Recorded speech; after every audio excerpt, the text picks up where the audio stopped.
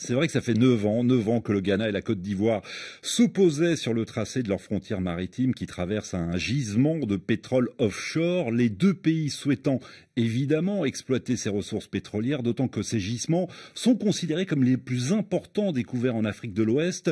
Bonjour Stéphanie Aglietti. Bonjour Juan. Merci d'être avec nous en direct d'Abidjan. Vous êtes euh, l'une des correspondantes de RFI en Côte d'Ivoire. Le tribunal international du droit de la mer a donc donné raison au Ghana. Oui, la Chambre spéciale du tribunal euh, a donné raison au Ghana en fait sur deux points principaux. Euh, tout d'abord, les juges ont estimé que le Ghana n'avait pas violé la souveraineté de la Côte d'Ivoire en menant des activités euh, pétrolières dans la zone disputée. Pourquoi? Tout simplement parce que la frontière entre les deux pays n'avait jamais été clairement définie. On ne pouvait donc pas accuser le Ghana d'avoir empiété sur le territoire de son voisin. Les juges ont aussi donné raison au Ghana euh, sur la méthode pour délimiter la frontière. La Cour a estimé que la méthode de l'équidistance prônée par Accra était la plus équitable et la plus pratique à appliquer dans ce cas. Alors je le disais tout à l'heure, Stéphanie Aglietti, l'enjeu était de taille puisque la zone est riche, elle est même très riche en pétrole. Oui, dans cette zone qui était revendiquée par les deux pays euh, se trouve euh, un gisement offshore nommé TEN et selon les estimations, il pourrait renfermer dans ses profondeurs une réserve d'environ 2 milliards de barils de pétrole. Alors pour rappel, c'est à partir de 2008 que le bras de fer entre les deux pays avait vraiment commencé. Euh, les deux voisins ont, tenté à plusieurs reprises de tracer leurs frontières à l'amiable, en vain.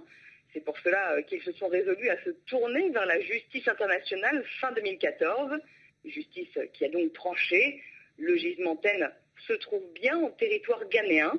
C'est donc euh, un sérieux revers pour la Côte d'Ivoire, euh, le pays euh, qui produit actuellement quelques 45 000 barils de pétrole par jour, comptait notamment sur ce gisement pour atteindre son objectif de faire passer sa production à 200 000 barils d'ici 2020 et ainsi devenir une nation pétrolière. Oui, c'est donc un coup dur évidemment pour la Côte d'Ivoire alors que ce verdict devrait permettre au Ghana de doper sa croissance, les Ghanéens qui se frottent donc les mains. Euh, Serge nous demandait quel impact la décision du tribunal euh, aura-t-elle finalement sur les relations entre ces deux pays voisins?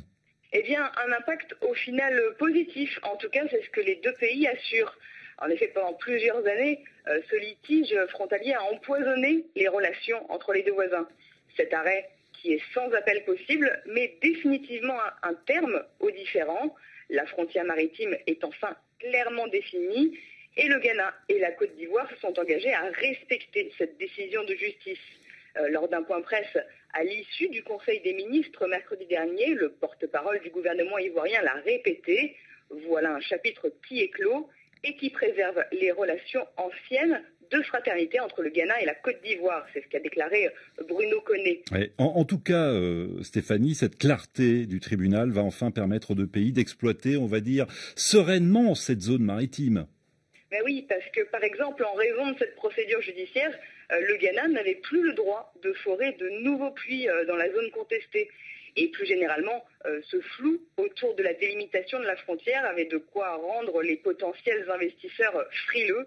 Euh, Bruno Connet a aussi assuré euh, mercredi que selon lui, la Côte d'Ivoire n'avait pas vraiment perdu car elle n'avait rien à perdre, sachant que dans cette zone, elle n'avait aucun puits de pétrole, ni en exploration, ni en exploitation, contrairement au Ghana, ou comment transformer une défaite en victoire.